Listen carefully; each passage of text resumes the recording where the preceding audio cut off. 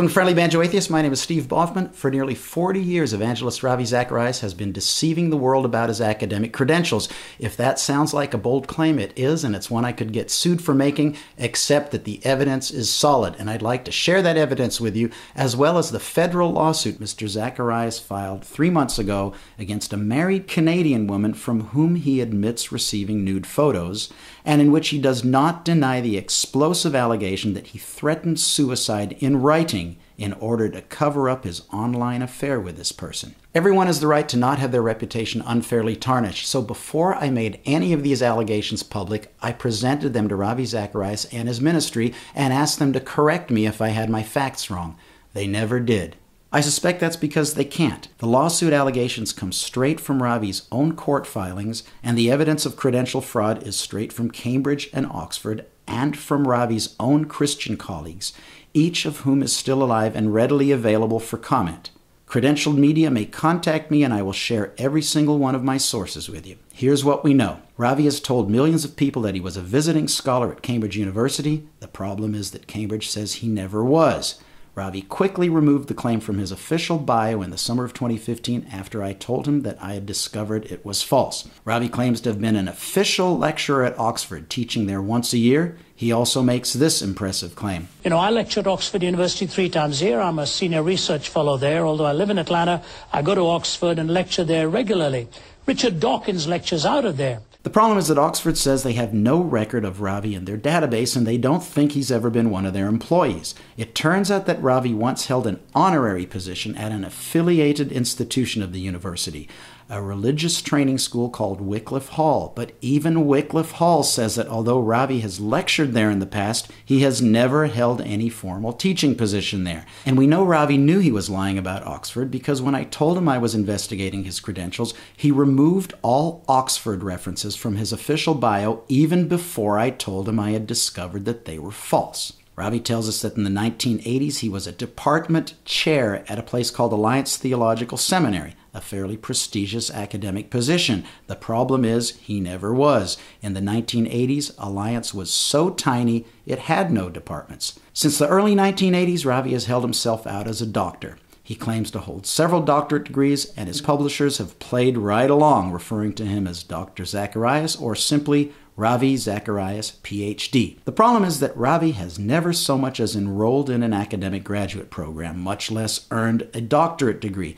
He holds a bachelor's and a professional master of divinity and numerous honorary doctorates, but has refused until recently to disclose at his official bio that these doctorates were merely honorary. And although Ravi describes himself as a recognized authority in several academic fields, there appear to be no scholarly publications by Ravi Zacharias in any field whatsoever. The thing that makes poor Ravi fret is he didn't foresee the internet. Now the big man of God's in a little lurch, cause he can prove he lied with a Google search. Uh huh, uh huh.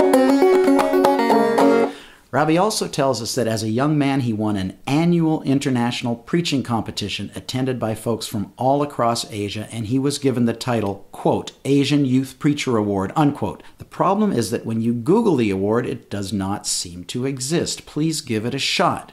So I tracked down all three of the men Ravi says were judges at that competition, and I learned that this was no international competition at all. All three judges confirmed that the competition was for India only, which explains why this impressive award exists only in Ravi Zacharias' self promotional materials. Ravi makes the even more impressive claim that in 1990 he studied quantum physics at Cambridge University under the famous physicist John Polkinghorne. The problem is that it looks like he didn't. Dr. Polkinghorne had actually left the Cambridge Science faculty 11 years earlier to become a priest, and by 1990 he wasn't teaching physics. In fact, that year he taught one class on the Science Theology Dialogue and another one on Buddhism. Now let's move from Ravi's public deceptions to his recent online, to his credit, non physical sex scandal. On July 31, 2017, Ravi filed a federal lawsuit against a married Canadian woman named Lori Anne Thompson. Now, as a lawyer, when I evaluate this case, I think that Ravi has been blackmailed. But you don't get blackmailed unless you've done something bad, and by his own admission, Ravi has. It's not just that he admits inappropriate conduct, as we have seen in paragraph 75, nor that he didn't report the relationship or the nude photos to his board right away, that he waited until after Miss Thompson threatened legal action and after she accused him of using her to gratify his own sexual desires. And it's not just that he didn't even try very hard to terminate contact with Lori-Anne after the sexy photos started coming in. That's all kind of unflattering, but the really explosive stuff is found in a highly confidential legal letter to Ravi, where Lori-Anne's lawyer states that when she wished to confess the relationship to her husband, Ravi sent her an email threatening suicide. Attorney Mark Bryant told Ravi that he has a copy of that suicide email in his file, and we have to wonder why would he bluff Ravi about something Ravi did not do? And although Ravi denies many things in his court filing, he did not deny making that written suicide threat. This is explosive stuff that the Christian media has avoided like a potato straight out of hell. Incidentally, Ravi settled his lawsuit last week on November 9th, 2017, so we may never know what exactly happened between Ravi and Lori-Anne. I urge you, especially if you are a Christian who has donated money to Ravi, to contact him and ask him how much he paid Lori-Anne for her silence. And did that money come from your donations? After all, did you really want your hard earned money converted into 30 pieces of silver?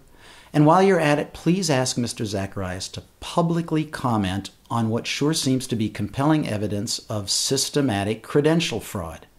He can ignore you, of course, but at some point we're entitled to conclude that this charming gentleman has a lot of stuff in his closet that he does not want us to know about. Where do Ravi's colleagues in ministry stand on all this? The Apostle Paul warns followers of Christ not to so much as have lunch with unrepentant fellow Christians, but over at Ravi's self named ministries, these people reap the benefits of being in business with a morally challenged but very successful evangelist. They get the stage, the limelight, the prestige of being part of a vibrant international organization. Will these self proclaimed followers of Jesus heed their Lord's command to speak truth to power, or will they continue to lick the hand that feeds them? Word is out that Ravi Zacharias' life's work has been based on false pretenses. And unless the blood of Christ can really tame entrenched ego and insecurity, his greatest legacy will be as yet another Christian leader who deep down did not believe his own religion. A Friendly Banjo Atheist production.